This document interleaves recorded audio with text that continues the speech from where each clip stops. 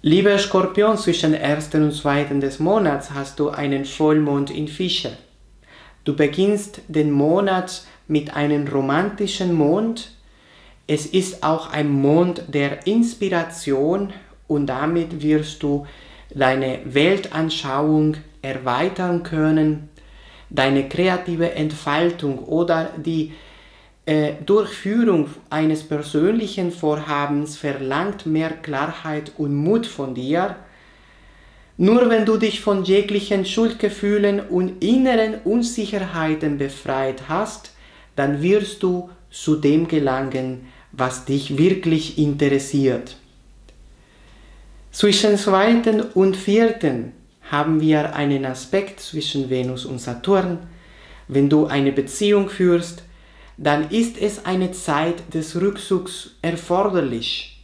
Im Allgemeinen wird es lange dauern, bis man mit einer Person ins Klare kommt.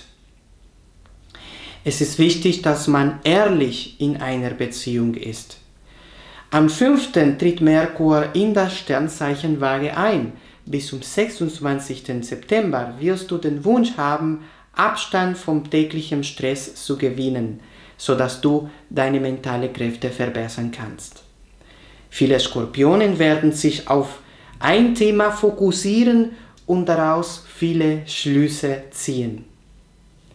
Zwischen 5. und 9. machen Sonne und Jupiter einen Trigon, ein Verfahren, das sich verzögert hat dürfte sich bald beschleunigen oder dieses wird bald beendet sein.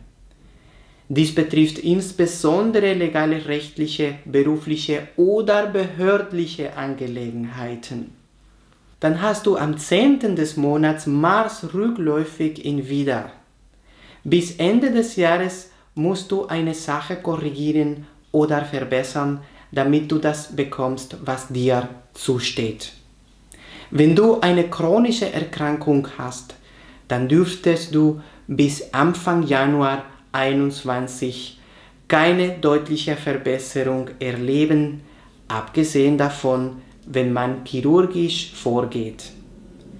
Zwischen 11. und 12. des Monats haben wir eine Opposition zwischen Neptun und Sonne. Vergewissere dich bitte, dass du das Richtige tust und sagst, sonst könntest du einen peinlichen Fehler an diesen Tagen begehen. Am 13. läuft Jupiter, der Planet der Möglichkeiten, direkt in Steinbock. Jupiter war seit Mai dieses Jahres in diesem Zeichen rückläufig. Das heißt, wenn man Papierkram zu regeln hat oder eine ungünstige berufliche Situation unerträglich ist, dann wird man bald eine Verbesserung und oder Beschleunigung erfahren. Das ist sehr gut für dich. Zwischen 12. und 15. Äh, des Monats haben wir einen Spannungsaspekt zwischen Uranus und Venus.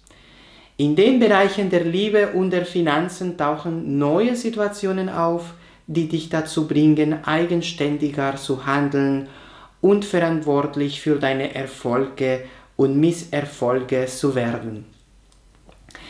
Zwischen 16. und 17. des Monats haben wir einen Neumond in Jungfrau. In deinem privaten Leben solltest du dich zu nichts verpflichtend fühlen und dich nur freiwillig für eine Sache engagieren. Zwischen 18. und 23. haben wir Merkur Quadrat Pluto. Eine Enttäuschung kann viele negative Gefühle auslösen, Stress, Frustration, Wut etc. Es ist an diesen Tagen wichtig, verständnisvoll und offen in der zwischenmenschlichen Kommunikation zu sein. Zwischen 24. und 26. haben wir Merkur Opposition Mars. Das Unfallrisiko steigt bei den meisten Skorpionen deutlich an. Zwischen 27. und 29. haben wir Venus, Trigon, Mars.